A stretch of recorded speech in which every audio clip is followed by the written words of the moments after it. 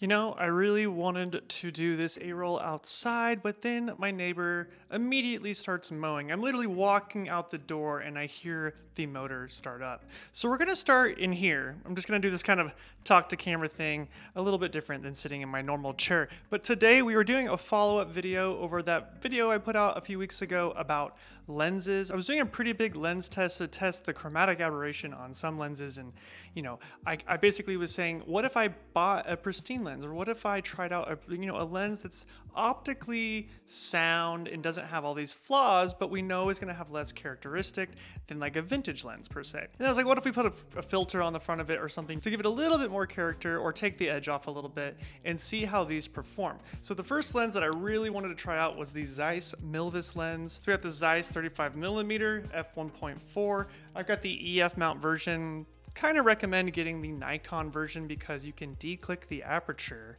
and then you can use it on any camera. You could even use it on something like an Arri Alexa or something that doesn't have the kind of electronic EF mounts that a lot of other cameras have. What's cool about the Zeiss Milvus is they're really not that expensive and they're optically very good, especially the 35. We will get into that, but the 35 millimeter is really the one to look at. I bet the 24, 25 is also pretty good, but the 50 does have some chromatic aberration.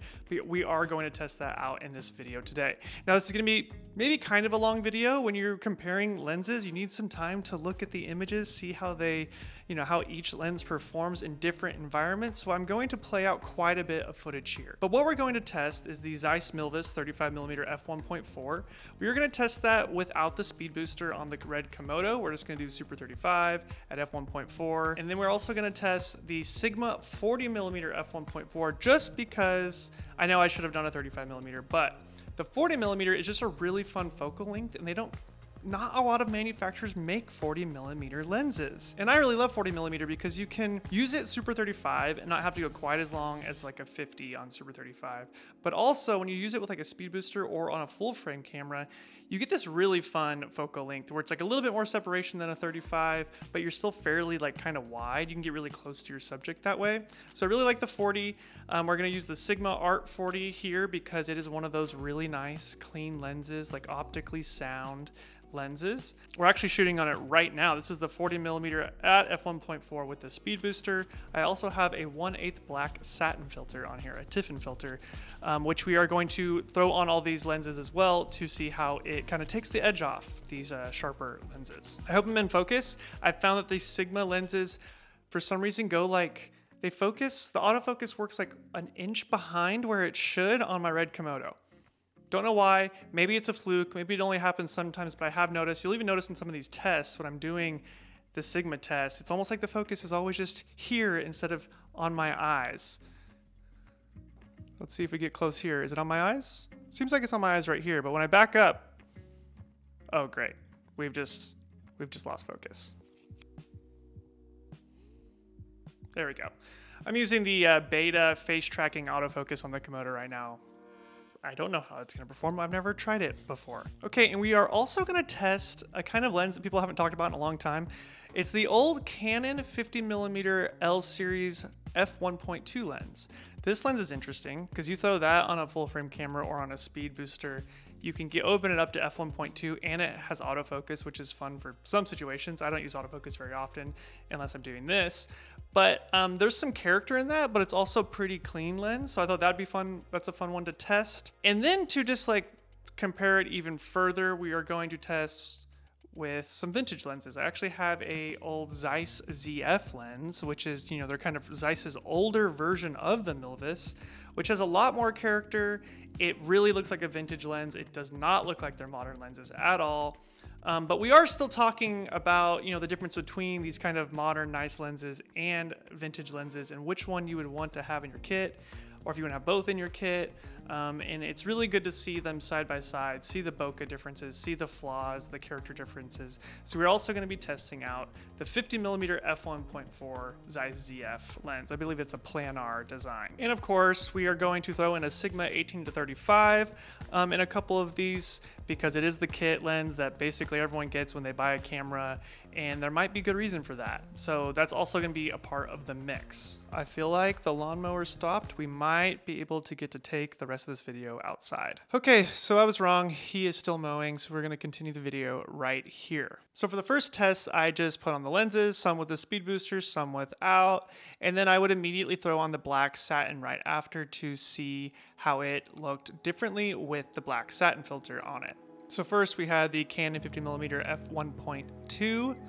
Um, it did have a little bit of chromatic aberration. It was hard to see in this environment because it was cloudy skies. I was outside, but you can see a little bit of it here on the monitor and stuff when you have the black, you know, contrasting off the background, which is when you usually get your your chromatic aberrations when you have like a bright subject and you have a contrasting subject in front of it or something like that. So 50 is fun. Uh, the bummer on the 51.2 is that you can't really put a cine gear on it because it's a autofocus lens that doesn't have hard stops.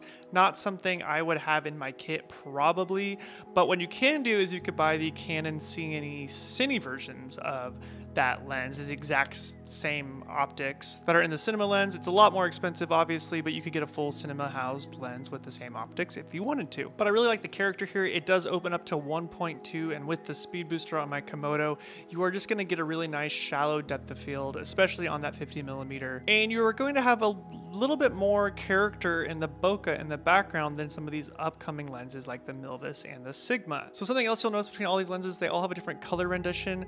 Um, from what I can tell looking at all these tests, the Sigma, the Sigmas always seem to have a lot more saturation and contrast, which if you really like pay attention to like my lips and stuff, my lips the magenta really pops on the Sigma lenses, which I found very interesting. Um, and that's something to note. It's something that's kind of like, I don't know if I like the Sigma lenses as much because they just don't look as organic. Yes, they are like clean and perfect, but there's something a little off about having that saturation. Of course, you can take that down in post, but right out of the camera, you're going to have that issue to deal with. But maybe that's something you want. Maybe you want saturation. Maybe something for a corporate look. You just want it to look clean and nice, and that's the way to do it. Okay, then we have the Zeiss Milvus lens, the, the lens that we're really trying to test out here very clean lens, looks very nice. Um, I'm actually so surprised by the optics of this lens. This lens is only like $1,300 new. Um, which is pretty remarkable. I mean, uh, that's probably similar price point to the Sigma 35 f1.4, and I'm thinking the Milvus is probably a little bit nicer. Now the 40 millimeter I think is around that price as well. Um, and so those are kind of in the same league here. But what's so great about the Milvus lenses is that they, they have this really nice housing and they have hard stops. And then like I said, if you get the Nikon mount, you can actually, you know, de-click your aperture and have manual aperture control. Um, and they're just really nice lenses. It's really surprising how inexpensive they are. then the 40 millimeter with the speed booster and without, um, the 40 millimeter looks really nice outside, not far off from the Milvus, honestly. They're kind of similar in nature. Like I said, one is more saturated though. And it's really fun that you can throw it on the speed booster. Of course, you could throw any of these lenses on the speed booster because they're all EF mount and you can basically get them wider, um, get that kind of more full frame look which is something worth talking about. Um, I think we're always talking about having a bunch of lenses in our kit, you know, different focal lengths. You know, you maybe want a 50, maybe you want a 35 and a 25. But what I think is fun and what I might start doing, if I buy this Milvus lens, I feel like there's gonna be a lot of scenarios where I'll just run the Milvus lens, the 35, on Super 35 without a speed booster. But then if it's like, oh, I would normally switch to a 24 or 25 right here to get a wider lens, or rather than buying another lens, I'll just throw on the speed booster, which will give me another stop of light because I'm throwing on the speed booster, and then it'll automatically like change the focal length. It'll make it wider um, in perspective on my sensor. So having a 35 is basically like having two lenses as long as you have your speed booster. And I don't think a lot of people have talked about that before, but I think it's a really handy way of doing it. Of course, a speed booster does cost like $600. And so some people would just be like, why don't I just get another lens? But a 35 1.4 basically would turn into like a 24 1.4, which would cost easily another $1,000 if you were trying to buy that lens. So it's something to think about, something kind of fun, and you're just using the one lens all the time and you don't have to carry around a bunch of lenses in your kit. Something worth considering if you are buying a Super 35mm camera that you can adapt and speed boost. And the next lens we're looking at here is the Zeiss ZF. 50mm f1.4, much more vintage looking. Man, the bokeh and the trees look so fun in the background. I love it. I think I need one of these lenses in my kit officially. This lens has lots of chromatic aberration. It has this really weird like ghosting kind of hazy effect um, which in some scenarios you might want that. You want that kind of character look, then you should definitely look into one of these lenses. They're like four or five hundred dollars used. Um, and then you can easily convert them to EF very, very easily and throw a gear on them. The one I'm using has a gear on it, has a front ring on it and stuff. Definitely fun, but vintage. Um, it's not even, they're not even that old. I mean, they're like the last a couple versions ago of the Zeiss, but they uh, do have those old characteristics that a lot of us like. It's just funny comparing the Zeiss, like what Zeiss used to make and what they make now. Just they're just in different territories. They're, they're just made for totally different things. It seems like. But what's kind of fun is when you throw on this black satin, it kind of gives this very very light glow to the image, and it lifts the shadows just a little bit. Just kind of decontrasts everything just a little bit. And to me, it kind of reminds me of this old Zeiss because that Zeiss um, ZF does have a little bit of that kind of ghosting going on. So it's like you're kind of trying to find the middle ground, but you don't get all that fun character in the bokeh in the background. And this, the vintage lens definitely is not saturated at all like the Sigmas. It's uh, definitely much more low con. And then of course at the end here, we're going to throw on the Sigma 18 to 35. We are looking at it at the 35 millimeter focal length. It's f1.8, so it's not going to look quite as fun in the background, not as quite of shallow depth of field. But you can see this lens, uh, you know, it's pretty saturated. The greens kind of pop and it's fairly sharp and it's just a really good lens. And for 700 bucks or 500 used, it's insane how the 18 to 35 is just a good lens for so many things no character, nothing fun about it. Um, but it's like it's the workhorse lens. It's gonna get anything done for you. And as you know, I am taking this journey now um, into doing more narrative work. Um, and so you know, I, when I'm picking out my lenses and stuff going forward, basically I need stuff in my kit that will help me with my commercial work, which will help me with my YouTube work, and will help me with my narrative work. Um, so I wanted to do a test with all these lenses in kind of the narrative environment. So I've kind of like acting like I'm on the phone here and I'm walking into the shot um, and I'm cropping it to 4.0 as if it was, you know, a widescreen aspect ratio like a movie, just to kind of see how it would look, just for fun, because I'm just trying to have fun testing out these lenses. Um, and so here's a few of those same tests back to back to back. All of the lenses without the satin filter on it this time, just all um, basically stock lenses with the stock color profile that I'm using um, to see how they all look in that environment. Basically shooting up into the trees to see how the bokeh looks and the contrast looks.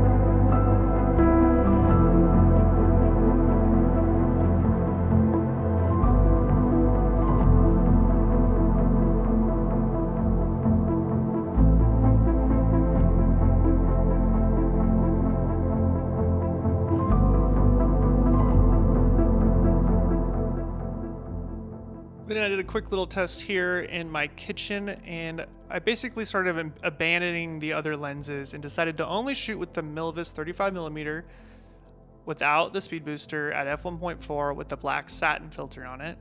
And for this quick test here, I'm comparing it against the Zeiss ZF. So basically you can see what a modern version of a Zeiss lens would look like up against the older one. And you can see the differences and see why you probably would want both of these in your kit depending on the project. They both look really nice. And the reality is the Milvus is just going to be reliable. It's going to perform every time.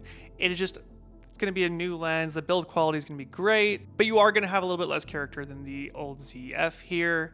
Um, which is a little bit more chromatic aberration. You can see it a little bit around the top of the roses here. There's a little bit of red coming in, some magenta, but that bokeh in the background looks so nice. It's obviously a little bit bigger because it's f1.4 with the speed booster, um, with the 50 millimeter versus the 35 f1.4 without, which is going to give you a different apparent aperture, so your bokeh balls are going to be smaller on the 35 f1.4. Now I do have the Zeiss 50 uh, Milvus here that we're testing out as well, um, but it's not quite as exciting because it's kind of like the in-between in like the bad way. It's like, oh, it's clean and nice looking, but it does have chromatic aberration. It's like, I only want chromatic aberration if my lens is going to have character. That's the trade-off there. So I don't know if I'm really hyped on this 50 millimeter Milvus lens.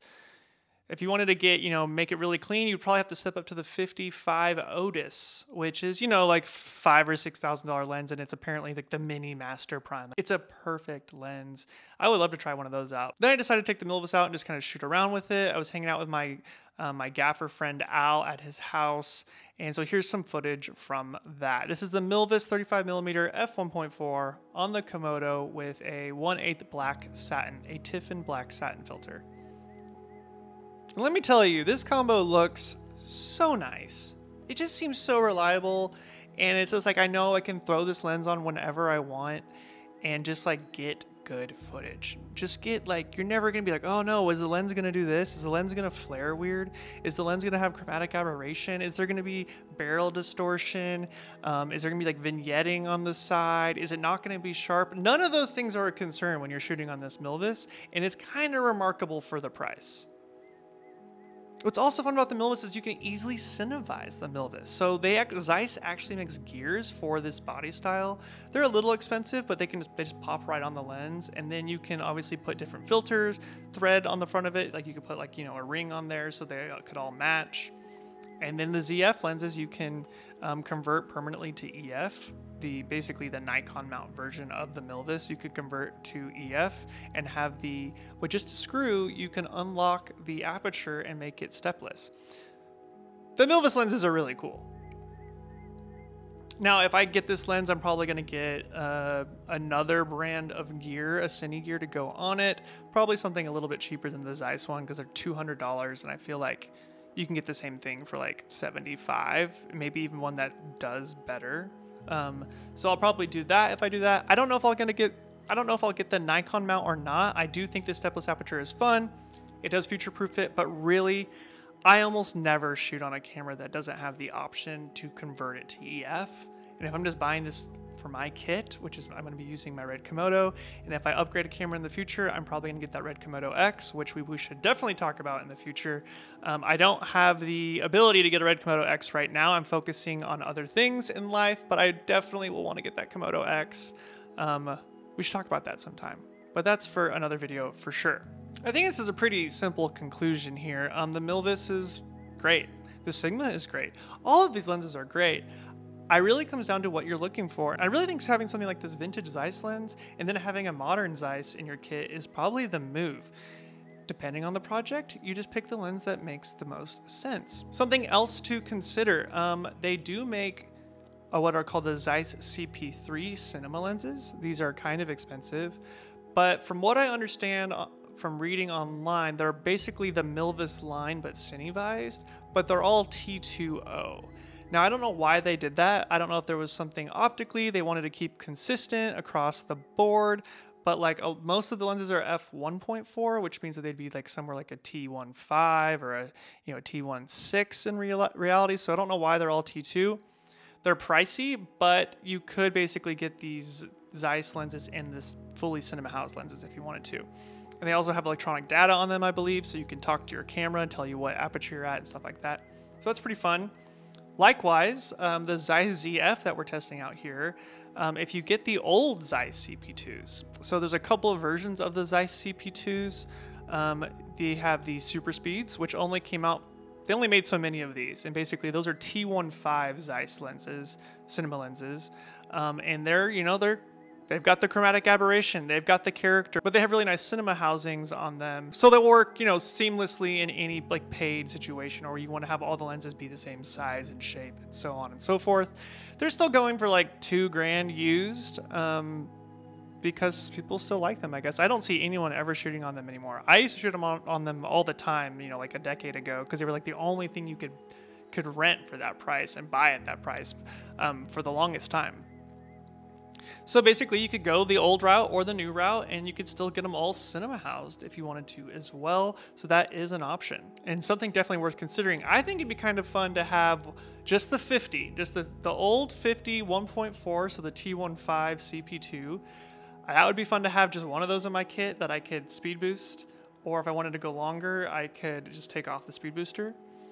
Um, and then it'd be fun to have the Zeiss Milvus 35 f1.4 in the kit. Thinking about just like having these random lenses like that, because why not? And I really feel like when you're buying these things, it's like you want to separate yourself from the other people in your market. And like I live in a pretty small market. So it kind of makes sense just to have different lenses. Like everyone around here is all buying like the DZO Vespid primes or they have like stock Sony lenses. So it's kind of fun having uh, different types of lenses in your kit to kind of give you your own look as a cinematographer.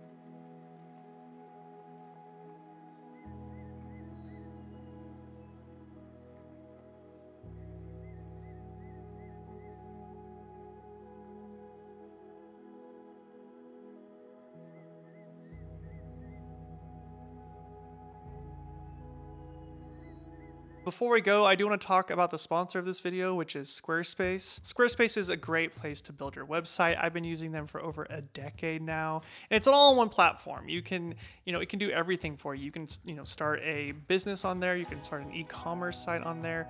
Um, or you can just do a portfolio like you might want for yourself as a filmmaker or as a cinematographer. It's super easy to update on your own. And you can build one with like a pre-existing template, or you can just build the whole thing from scratch. But they make it easy to embed videos from like YouTube or Vimeo. You just paste the link on the website and it'll embed it right into your page. So if you're anything like me and you need a website to show off your work online, well, you can just do that with Squarespace. Just click the link in the description to get 10% off. And I want to thank Squarespace for sponsoring this video. Okay, so that's it. That's all I have for this video. If you have any questions about these lenses, please drop them down in the comments below. And please like this video if you found it helpful. And until next time, guys, I'm Spenser Sakurai. See ya.